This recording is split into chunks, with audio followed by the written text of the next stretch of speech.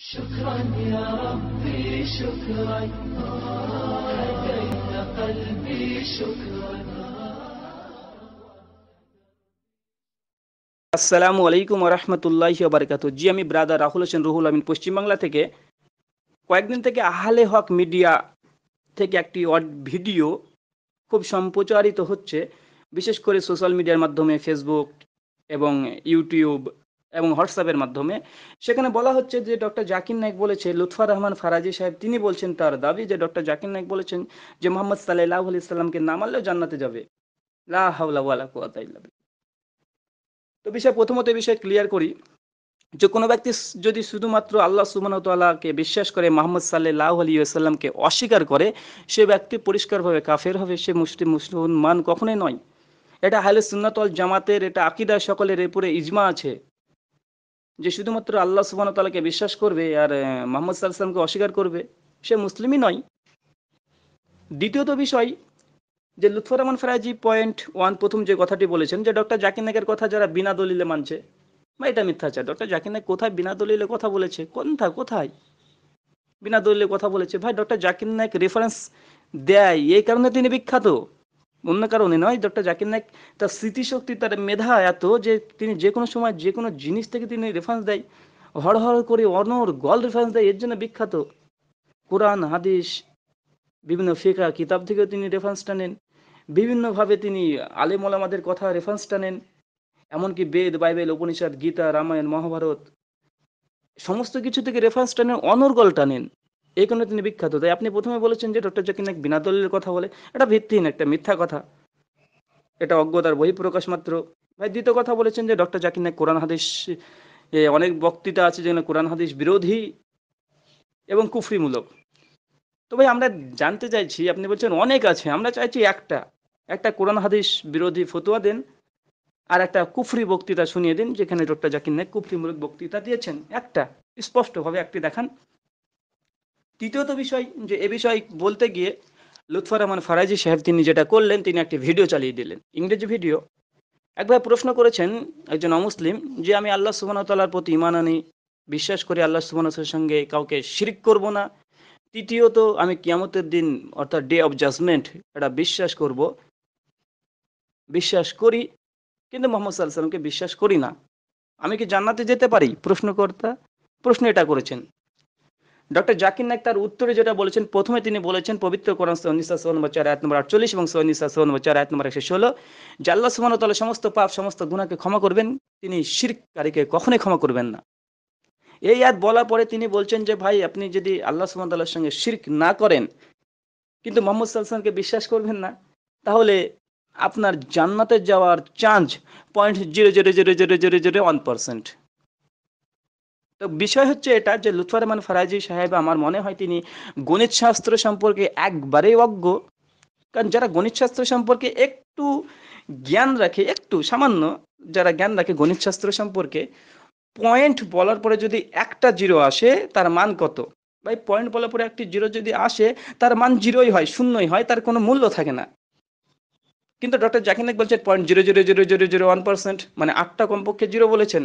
তারপরে বলছেন one zero zero zero zero point zero zero zero zero one percent তো পয়েন্টের পরে জিরো জিরো জিরো যদি একটাতে যদি জিরো যদি মান হয়ে যায় জিরো তাহলে আটটার পরে ওয়ান পার্সেন্টের মূল্য থাকে, কোনো মূল্য থাকে না। বরং এটা জিরো পার্সেন্টের চাইতে যেহেতু লাস্টে এক লাগিয়েছে, তার মানে হান্ড্রেড ওয়ান পার্সেন্ট মানে হান্ড্রেড ওয়ান পার্সেন্ট আপনার চান্স নেই। একশোর মধ্যে একশো এক পার্সেন্ট আপনার চান্স নেই। Point zero zero zero zero zero one পার্সেন্টের মান ভালো করে গণিতশাস্ত্র শিখবেন, তারপর অন্য মানুষের কুফরিমূলক বক্তৃতা ধরার চেষ্টা করবেন। নিজেই অজ্ঞ, আপনি আরেকজনের পিছিয়ে লেগেছেন। আল্লাহ সুমতাল্লাহ পবিত্র কোরআন সুরা বানী ইসরায়েল সনবশত আয়াত নম্বর ছত্রিশে বলছে, যে বিষয়ে তোমার ইলম নেই, জ্ঞান নেই, তার পশ্চাতে দৌড়ো না। কিয়ামতের মাঠে তোমার চক্ষু, কর্ণ, হৃদয় সমস্ত কিছুকে জিজ্ঞাসিত হতে হবে। তো ভাই, আপনার এ বিষয়ে ইলম নেই, আপনি দৌড়ছেন পেছনে। Point zero zero zero zero zero one পার্সেন্টের মান কত? এ হান্ড্রেডে একশো এক পার্সেন্ট আপনি জান্নাতে যাবেন না। বুঝতে পারছেন বিষয়টি? বোঝার চেষ্টা করুন, অন্য মানুষের পেছনে দৌড়ছেন, অথচ আপনার এই বিষয়ে ইলম নেই। অথবা আরও একটি বিষয় হতে পারে, যে লুৎফর রহমান ফারিজি সাহেবের ইংরেজি ভাষা সম্পর্কে কোনো জ্ঞান নেই। তিনি জানেন না, তাই হয়তো বুঝতে পারেন কি বলতে, কি বলে ফেলেছে। তিনি হয়তো কারও বই থেকে কপি করে শুনেছে যে ডক্টর জাকির নাইক তো এই কথা বলছে, কোন ভিডিওতে বলেছে? এই ভিডিওতে বলেছে, তিনি না বুঝে তিনি পাশে চালিয়ে দিয়েছেন এডিট করে চালিয়ে দিচ্ছেন। ছয় নম্বর বিষয়, যে ডক্টর জাকির নাইক এই কথা বলার পর একটা উদাহরণ টেনেছেন, উপমা টেনেছেন। আর সমাজদারকে নিয়ে তো ইশারাই কাফি। বুদ্ধিমান ব্যক্তিরা একটু ইশারা দিলে বুঝতে পারে যে আসলে কি বলতে চাইছেন। যেমনভাবে আপনাকে বলি ডক্টর জাকির নাইক ওখানে বলেছেন, ওই ব্যক্তিকে, ভাই, আপনি দুবাইয়ের একশো তালা একটি বিল্ডিং থেকে নিচে লাফ মারবেন। একশো তালা বিল্ডিং থেকে নিচে লাফ মারবেন। আপনি বেঁচে যাবেন, এটা যতটা যতটা যে আপনি যে একশো তলা বিল্ডিং থেকে লাফ মারলে আপনি বাঁচার কোনো কথা আছে? কোনো কথাই নেই। ডক্টর জাকির নাইক বলছে, আল্লাহ তাকে বিশ্বাস করবেন, মোহাম্মদ সাল্লামকে অবিশ্বাস করবেন। ওই একশো তলা বিল্ডিং থেকে লাফ মারার সমান। অর্থাৎ তিনি বাঁচবেন না, মরে যাবেন। এত সুন্দর একটা তিনি উদ্ধৃতি টেনেছেন এত সুন্দর একটা উপমা দিয়েছেন যে একশো তলা বিল্ডিং থেকে কেউ যদি লাফ মারে সে তো বাঁচবে না সে মরে যাবে point zero zero zero zero zero zero one পার্সেন্টের চান্স আছে একশো তলা বিল্ডিং থেকে লাফ মারলে সে বাঁচবে একই উদাহরণ টানছে ডক্টর জাকির নাইক একশো তলা বিল্ডিং থেকে লাফ মারা নেয় যে আপনি মোহাম্মদ সাল্লামকে বিশ্বাস করবেন না point zero zero zero zero zero zero one percent মানে তিনি জান্নাতে যাবেন না পরিষ্কারভাবে বলছেন এখানে পরোক্ষভাবে বলছেন কারণ পরোক্ষভাবে বলা কি? এটা কোরআন সুন্নাহ দ্বারা প্রমাণিত ভাই। আল্লাহ রসুল সাল্লাহ সাল্লামকে বলছেন সাহি মুসলিম কিতাবুল ইমান ইমান সাহি মুসলিম কিতাবুল ইমান শাফায়াতের নবী অধ্যায়, হাদিস নম্বর তিনশো আটানব্বই। আল্লাহ রসুল সাল্লাহ কাছে একজন ব্যক্তি এসেছে প্রশ্ন করছে, আল্লাহ রসুল, আমার পিতা কোথায়? আল্লাহ রসুল বলছে জাহান্নামে। সঙ্গে সঙ্গে সাহাবি মনেক্ষণ হয়ে চলে গেলেন। আল্লাহ রসুল বুঝতে পারলেন কি সাহাবিকে বলে, ওকে ডেকে নিয়ে আসো। ডেকে নিয়ে আসলো। এবার আল্লাহ রসুল কি বললেন? যে আমার পিতা যেখানে, তোমার পিতাও সেখানে। পরোক্ষ ভাই কি বলল? আমার পিতাও যেখানে, তোমার পিতাও সেখানে, অর্থাৎ জাহান নামে দুজন। তো ডক্টর জাকির ওই কথাই বলছে ভাই পরোক্ষভাবে বলছে যে একশো তলা বিল্ডিং থেকে লাফ মারলে যেমন বাঁচার কোনো চান্স নেই, তবে মোহাম্মদ সাল্লাহ সাল্লামকে না মেনে আপনার বাঁচার কোনো চান্স নেই মানে জান্নাতে যার কোনো চান্স নেই। পরিষ্কার, আলহামদুলিল্লাহ। তো ভাই, এগুলো হচ্ছে আপনাদের অজ্ঞতার বহিঃপ্রকাশ, তাকলিদি চশমা, তাকলিদি অন্তর দিয়ে বক্তৃতা শুনছেন, আর আহলে সুন্নাত জামাতের নাম নিয়ে মুকাল্লিদ আবার মুফতি সে যে মুক্তির মুখোশ মানে মুফতির মুখোশ পরে সাধারণ জনসাধারণকে ধোকা দিয়ে বোকা বানাচ্ছেন আর পথভ্রষ্ট করছেন অন্য মানুষকে পুরে দোষারোপ করে। চতুর্থ বিষয়, যে ভাই একটি দলিল পেশ করেছেন লুৎফরমান ফারাই যে বিষয় বলতে গিয়ে যে লাউকায়না মুসা হাইয়ান ফত্তাবিউনি, যে আজ যদি মুসা আলাহিসাল্লাম পৃথিবীতে বেঁচে থাকতো তাহলে আমারই আনুগত্য করতো, তাছাড়া জান্নাতে যাওয়া কোনো সম্ভবই নয়। ভাই, এটা তো আমাদের দাবি। যে আল্লাহ রসুল সাল্লাহ সাল্লাম পৃথিবীতে আসার পরে কোনো ব্যক্তির অনুসরণ করা যাবে না, তাকলিদ করা যাবে না। হোক সে নবী। মিসকাত হাদিস নম্বর একশো আটানব্বই, মুসনদ আহমদ হাদিসটা বর্ণিত আছে। তো আমাদের দাবি তো এটাই ভাই আপনাদের কাছে যে আল্লাহ রসুল পৃথিবীতে আসার পরে মুসা ইসলাম যদি পৃথিবীতে আসে, তার অনুসরণ করা যাবে না। আপনি দলিল পেশ করছেন ডক্টর জাকির নায়কের খিলাফ, আমি প্রমাণ পেশ করছি চার ইমামের খিলাফ। তাকলিদের সাক্ষীর উপরে এই দলিল, হুজ্জাত এটা দলিল, রদ করে দেয় এই দলিল। যে মুসা আল্লাহ সাল্লামের মতো নবী যদি পৃথিবীতে আসে, তার আনুগত্য করা যাবে না? চারটে মাঝাব কীভাবে জায়জ হতে পারে? কীভাবে জায়জ হতে পারে ভাই? তাই আপনার দলিল পরিষ্কারভাবে খণ্ডন করছে, আপনি নিজেই খণ্ডন করছেন যে চারটে মাঝাবও মানা যাবে না, কারণ এটা আল্লাহ রসুলের পরে এসেছে। আল্লাহ রসুলের অনুসরণ করতে হবে। তাকলিদের সাক্ষী কোন এক ব্যক্তির রায়কে জীবনে বাস্তবায়ন করা মানা ওয়াজিব, এটা একটা ভ্রান্ত ধারণা। তাই সার্বিকভাবে যেটা প্রমাণিত হলো যে লুৎফর রহমান ফায়াজি সাহেব প্রথমত তিনি যে অভিযোগ করেছেন ডক্টর জাকির নায়কের বিরুদ্ধে, সেটা একটি ভিত্তিহীন। দুই, তিনি গণিত শাস্ত্র সম্পর্কে একবারে অজ্ঞ, কারণ point zero zero zero zero zero zero zero one পার্সেন্টের মান জিরোই হয়। তিন, তিনি ইংরেজি ভাষা সম্পর্কে একদম অজ্ঞ। চার, তিনি কোরআন হাদিস থেকে যে দলিল উপস্থাপন করেছেন, সেটাও ভিত্তিহীন। আর ভিত্তিহীন এটাই যে তার তার সরাসরি তার নিজেদের যে মতবাদ, সে মতবাদের পরিপন্থী একটি কথা। আর এই কারণে বলছি, বিশেষ করে ভাই আপনার সামনে কয়েকটা হাদিস উপস্থাপন করব। এই হাদিসের ব্যাখ্যাগুলো কি হবে একটু জানবেন বা কি হবে একটু আমাদেরকে বলবেন বলে ধন্য করবেন যে এই হাদিসের ব্যাখ্যা কি হবে। আনাস বিন মালিকের সূত্র হাদিস বর্ণিত। আনাস বিন মালিক রাদি আল্লাহ তালু তিনি বলছেন, পরিষ্কারভাবে এখানে শব্দ হচ্ছে ইয়া আদম।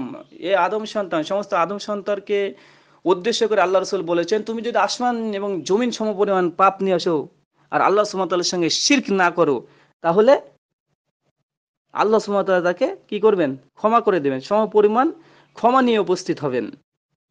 সুনান তিরমিজি, হাদিস নম্বর তিন হাজার পাঁচশো চল্লিশ, দ্বিতীয় খণ্ডে একশো চৌরানব্বই পৃষ্ঠা, সনদ সই দুয়া সমূহ অনুচ্ছেদ অধ্যায় মিসকাত হাদিস নম্বর দু হাজার তিনশো ছত্রিশ। ইস্তেকফার অনুচ্ছেদ। তো বিষয় এই হাদিসের ব্যাখ্যা কি? হজরত আনাস বিন মালিকের সত্যি যে হাদিসটা আসমান জমি সমান পাপ নিয়ে আসলে আল্লাহ সুমতাল সমস্ত পাপ ক্ষমা করে দেবেন, যদি তার মধ্যে শির্ক না থাকে? আরও একটি হাদিস যাবে রদি আল্লাহ তালা তিনি বলেন যে রসুল সাল্লাম বলেছেন, দুটো জিনিস অবধারিত ঘটবে। এক লাইয়াগে ফিরে আইসরে কবিল্লা সেইয়ান দেখলান জান্না যে ব্যক্তি আল্লাহর সঙ্গে শির্ক না করে মৃত্যুবরণ করবে, সে জান্নাতে যাবে। ওমা ইসরে কবিল্লা সেইয়ান দেখালাম না আর যে ব্যক্তি আল্লাহর সঙ্গে শির করে মৃত্যুবরণ করবে, সে জাহান নামে যাবে। অর্থাৎ শির করে, যদি না করে মৃত্যুবরণ করে, সে জান্নাতে যাবে। সেই মুসলিম হাদিস নম্বর দুশো উনআশি প্রথম খণ্ডে ছেষট্টি পৃষ্ঠা, কিতাবুল ইমান অনুচ্ছেদ বিয়াল্লিশ। মিসকাত হাদিস নম্বর আটত্রিশ, বাংলা মিসকাত হাদিস নম্বর চৌত্রিশ ইমান অধ্যায়। তো এ হাদিসের ব্যাখ্যা বা কি হবে এটা? তৃতীয়ত বিষয় যে আরও একটি হাদিস, যে আল্লাহ রসুল আসলাম বলছেন, ওয়াকুতিল তা হরিকতা যদি তোমাকে আগুনে পোড়ানো হয়, হত্যাও করা হয় তবু তুমি শির করো না। এই হাদিস তিনটের ব্যাখ্যা কি হবে, মাসালা কি বেরোবে এখান থেকে? লুৎফর রহমান ফরাজি সাহেবের কাছে আমাদের প্রশ্ন। এই হাদিসটি মুসনাদ আহমদ, হাই, বা হাদিস নম্বর বাইশ হাজার একশো আঠাশ, সনদ সহি আলবানি ইর ওয়াউল গালিল, হাদিস নম্বর দু হাজার ছাব্বিশ, সাহি তার্গিব, হাদিস নম্বর দু হাজার পাঁচশো ষোলো মিসকাত হাদিস নম্বর একষট্টি, বাংলা মিসকাত হাদিস নম্বর পঞ্চাশ, পঞ্চান্ন কাবিরাগুনা অধ্যায়। তো এই তিনটে হাদিসের ব্যাখ্যা কি হবে? চতুর্থ বিষয়, যে লুৎফর রহমান ফারাজি বললেন যে, ইহুদি খ্রিস্টানদের গ্রন্থে তো একত্ববাদের কথা আছে, তার মানে তারা জান্নাতে চলে যাবে। ভাই, এটা পবিত্র কোরআন সম্পর্কে অজ্ঞতা আপনার। পবিত্র কোরআন সুর মাইদা সুন্দর পাঁচ, আয়াত নম্বর চুয়াল্লিশ ছেচল্লিশ। আল্লাহ সুমান বলছে, যে তরত জাবর দিয়ে ফাইসালা করে না, আহলে আহলে কিতাব যারা যারা তরাত এবং যা জবুর, ইনজিল এদেরকে দিয়ে ফাইসালা করে না, তারাই কাফের। তো ভাই তাদের ধর্মগ্রন্থে যদি একত্ববাদের কথা থাকে, আর তারা যদি সে অনুযায়ী আমল না করে, না চলে, না ফাতুয়া দেয় তাতে জাহান নামে যাবে, পবিত্র কোরআন বলছে। আপনি কীভাবে পরোক্ষ বলতে তাদের তো জান্নাতে ভাই, গ্রন্থে থাকলে জান্নাতে চলে যাবে, এটা কেমন কথা? যে তাদের গ্রন্থ আছে, একত্ববাদের কথা, তারা আমল করবেন, তারা জান্নাতে চলে যাবে। এটা একটা মিথ্যে মিথ্যা এবং ভিত্তিহীন কথা। তাদের গ্রন্থে একাধিক আছে। ভাই, মোহাম্মদ সাল্লাহ ইসলামের কথা তাদের ধর্মগ্রন্থ আছে। তারা অনুসরণ করছেন আর পবিত্র কোরআন বলছে, তার তরজ জবর ইঞ্জিল, এগুলো অনুসরণ করে না, তারা জান্নাতে যাবে না। তারা কাফের, তারা জালেম, তারাই ফাসেক। তো বিষয় হচ্ছে ভাই, মোহাম্মদ সাল্লাহামের কথা তাদের বাইবেলে আছে, তথাকথিত এবং তৌহিদ সম্পর্কে সুস্পষ্টভাবে আছে, মূর্তি পূজার বিরোধী কথা আছে। তারা মানছে না তারা জাহান নামে যাবে। পবিত্র কোরআন বলছে, বাইবেল গসপল অফ ম্যাথিউ পাঁচ অধ্যায় ষোলো, সতেরো, আঠারো, উনিশ, কুড়ি চারটে অনুচ্ছেদে সুস্পষ্ট হয়ে বলেছে, যারা ঈশ্বরের অর্থাৎ ঈশ্বর যে বিধান দিয়েছে, তা থেকে তারা পালন করে না। তারা সরিষা সমান দানা পর্যন্ত তারা জান্নাতে কোনো স্থান নেই। তো তাদের ধর্মগ্রন্থ বলছে, তারা মানে না, তারা জাহান্নামে যাবে, সুস্পষ্ট। এখানে তো জান্নাতে হওয়ার প্রশ্ন ওঠে না। আর গ্রন্থে থাকলে যে জান্নাতে দাবি করবে, এটা আপনি কেমন কথা বললেন, কেমন ভাবে বুঝলেন? এটা আপনার পবিত্র কোরআন এবং তরাত এবং জাবুর সম্পর্কে অজ্ঞতার একটা বহিঃপ্রকাশ মাত্র। এবং এটা সাধারণ যে আপনারা কিয়াস কিয়াস করেন, কিয়াস আপনাদের কাছে হুজ্জত। এটা কিয়াস যুক্তি দিয়ে প্রমাণিত হয়ে যাচ্ছে যে আপনি এটা ভিত্তিহীন একটা প্রশ্ন করেছেন, যে তাদের ধর্মগ্রন্থে শুধুমাত্র একত্ববাদ আছে, তাই তারা জান্নাতে চলে যাবে। ভাই, হিন্দুদের ধর্মগ্রন্থেও আছে। হিন্দুদের ধর্মগ্রন্থ একত্ববাদের কথা আছে, মুশরিক তারা আপনার কথা অনুযায়ী জান্নাতে চলে যাবে। কেমন কথা বলছেন? একটু বিবেক বুদ্ধি দিয়ে ভেবে চিনতে একটু কথাগুলো বলতে হয়, একজন মানুষের নামে অপবাদ দিচ্ছেন, মিথ্যা কথা বলছেন, ধোকা দিচ্ছেন, আবার আপনারা মুফতির মুখোশ পড়েছেন আর আহলে সুন্নাতল জামাতের নামকে খাটিয়ে, নামকে ধরে সাধারণ জনসাধারণকে তাকলিদের সাক্ষী নোংরা পানিতে চুয়াচ্ছেন আল্লাহ সুবাহতালার কাছে তৌবা করে মুসলিম হয়ে যান ভাই। কারণ এমন এমন কথা আপনি মাঝে মধ্যে বলেন যে, ভাই, সেখান থেকে মনে হয় যে ইসলাম আপনার টুটে গেছে ইমান টুটে গেছে। আপনি ওই প্রথম দ্বিতীয় পর্বতে বলেছেন যে, পবিত্র কোরআনের কেউ যে তাফসির করে, সে যে সঠিক করে, তাও সে গুণা করল, ঠিক করল গুণা করল।